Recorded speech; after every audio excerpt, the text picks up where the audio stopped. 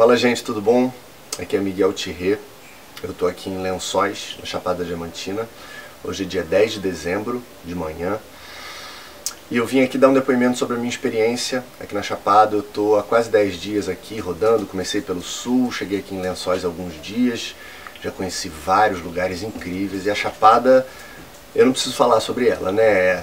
O Brasil conhece, ou quem ainda não veio já ouviu muito falar, é muito bonita, é muito rica, é muito impressionante. E nos últimos dias, com essa questão muito complicada que está rolando aqui, que são os incêndios florestais, que o pessoal está conseguindo apagar aqui e lá com a ajuda do governo, mas a grande parte é a população local né, que está que tá dando conta de, de segurar esses focos. Mas o que eu percebi, o que a galera contou, é que com isso grande parte dos turistas fica na dúvida de vir para cá ou não. E o meu depoimento nesse momento, estando aqui, é de que foi incrível a minha estada, de que eu conheci lugares maravilhosos, de que está tudo rolando.